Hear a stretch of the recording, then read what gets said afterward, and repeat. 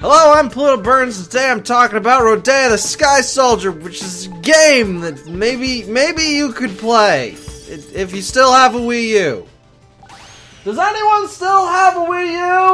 Yes, but Rodea the Sky Soldier was the brainchild of dear old Yuji Naka, one of the creators behind Sonic the Hedgehog, and was originally intended to come out on the Wii back in 2010. For bullshit reasons, that didn't actually end up happening, and we got a combo version where the Wii U and the Wii versions came out at the same time. Except the Wii U version isn't actually the Wii U version, it's a port of the 3DS version, and it's also shit, and I'm talking about the Wii version because the Wii version is the only one worth any of your money. So what you want to do is you want to buy the Wii U version and just throw away that Wii U disc. Just put the Wii in and have a jolly old time waving the flicky bicky bicky.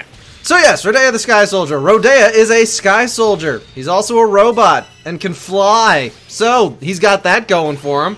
The way you control this game is actually you move him without using the nunchuck. So yeah, if you don't have a nunchuck and are from some parallel universe where Michelangelo also doesn't like pizza, you can play this game!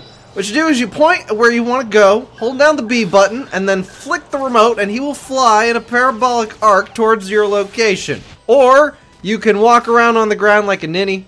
Yeah, just look at me walking around. I'm fine. I don't have to worry. Oh god! Yes, but the uh, controls of this game are the only thing I've heard it compared to is NiGHTS into Dream, which I don't have any experience with. And the way that you uh, spin into these floating gem things and follow them along a trail is very similar to the Lightspeed Dash in later 3D Sonic games. Now the gameplay is uh, it's it's kind of got a zenness to it. Okay, you you get these big floaty platform maps, which are not like Super Mario Galaxy because gravity is one way. And then you just fly between them and you shoot the fish robots with the gun gun that you maybe got got because it's a power up up.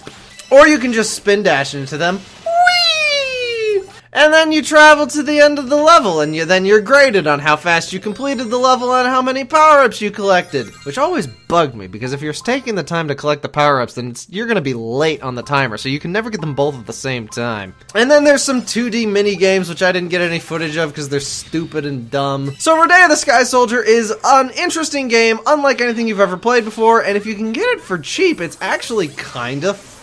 It's not great, though. The art style is pretty weak. I mean, it is a Wii game, and hell, I've seen Wii games look better than this. The story is dumb and practically written by a child. Oh, and if you're playing this game, turn on Japanese audio. Oh my god, the English voice actors are so bad. We're getting really 90s anime dubbing up in this script. Excuse me, Mr. Schwartzu. I expressly told you to wait for me. You're mean. And the art direction isn't great, and the boss fights can kind of be epic, but at the same time, this flying system doesn't work so well for long distance flight.